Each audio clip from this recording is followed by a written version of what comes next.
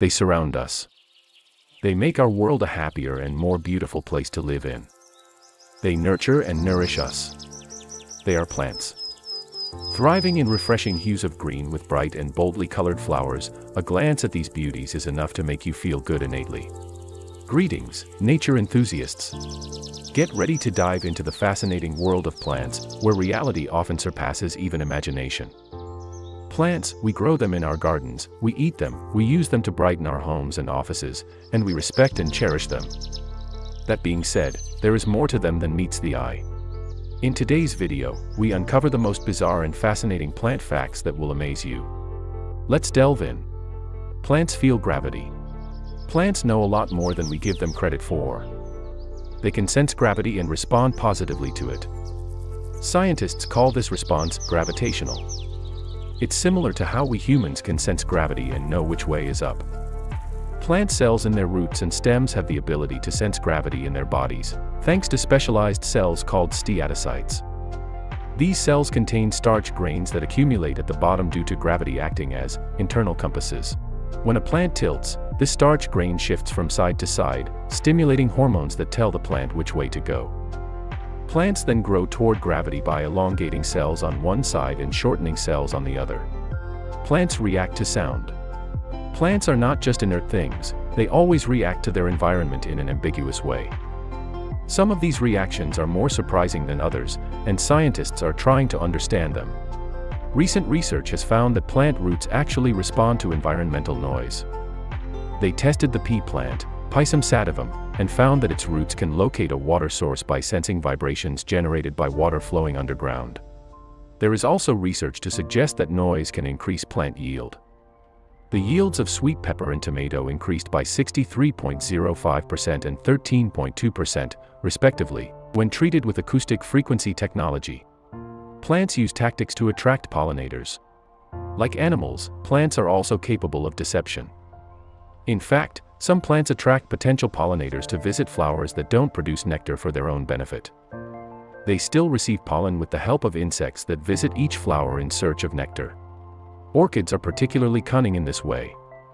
There are many species that visually mimic the flowers of a female wasp and release perfumes that attract male wasps. Males pollinate orchids when they try to mate with them. Another species called Rafflesia looks like a delicacy to flies, complete with just the right color and texture and even the smell of rotting flesh. Flies are attracted by the scent, land on the flowers, and are covered in pollen as they attempt to lay their eggs.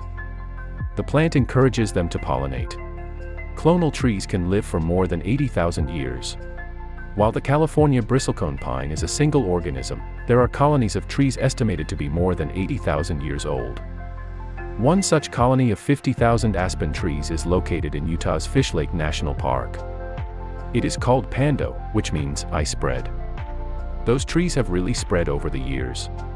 More than 100 billion bananas are consumed every year, Bananas are not always yellow, some are green and red, but this healthy breakfast and snack is one of the most consumed plants in the world. According to Science Kids, bananas grow in large hanging clusters called fingers, and a row is called an arm.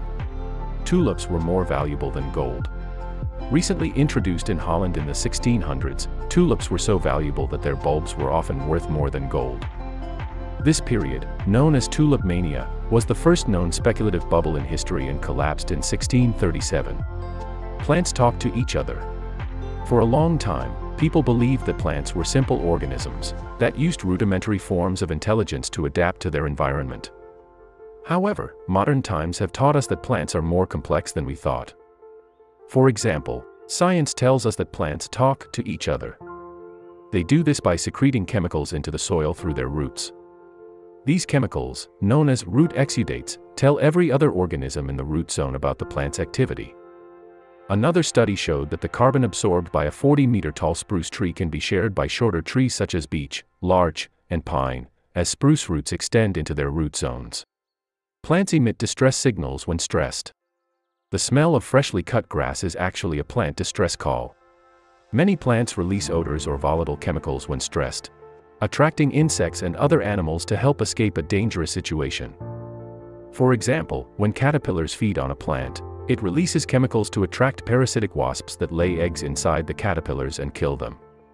Some plants can send a subtle warning to attract predators, such as birds, to protect them from damage. For a long time, this phenomenon was observed only in forests. However, in 2018, the University of Delaware observed this in agricultural plants as well. Plants know what time it is. You probably know that our body has a clock called the circadian rhythm that regulates our sleep and wake cycles. But did you know that plants also have such a clock? This means they can prepare for different times of the day. The plant uses sugar signals to establish the circadian phase when it is light or dark. Circadian rhythms determine when plants grow, when their flowers open, and when they emit scent. These rhythms help plants use their energy carefully so they don't starve at night. Strawberries are the only fruit that has seeds on the outside. There are over 600 varieties of strawberries, each containing about 200 seeds. The reason a strawberry has its seeds on the outside is because of the structure of the plant, which has a central receptacle surrounded by small, dry fruits. Most people don't know that strawberries are a member of the rose family and are not actually berries, even though they have berry in their name. Technically, it is a multi-fruit, consisting of small individual fruits embedded in its fleshy receptacle. Plants know their seasons, but they don't use a calendar. For plants that live in climates with extreme temperature changes, it is important to know when the seasons change. One of the ways that plants can tell the seasons is by the length of the day. Some plants' leaves are sensitive to the amount of light they receive, and they use this information to produce seeds or flowers at the appropriate time of year. For example, in the spring, when the days are longer, a plant will receive more sunlight. When it gets enough sunlight, its leaves begin to form flowers and seeds that reproduce for the next season. In addition to using the length of the day to tell the seasons, plants also sense temperature changes. Some plants live in climates with extreme temperature changes between summer and winter. For example, trees in Alaska have a long growing season in the summer but have to survive harsh winters lasting six months or more. Trees respond to this by growing very quickly in the short summer, then slowing their growth and dropping their leaves in the winter.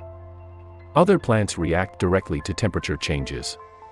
Plants in cold regions only grow when temperatures rise above freezing during the day and fall below freezing at night.